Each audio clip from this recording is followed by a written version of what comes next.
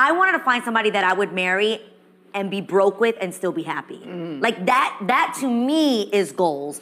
But for somebody that- somebody else, You what? say that, but you didn't marry somebody who has financial strife or is making you struggle in any financial way. I'm just saying that, like, it's hard to say that while you're in a comfortable situation because he's independent with finances and so are you.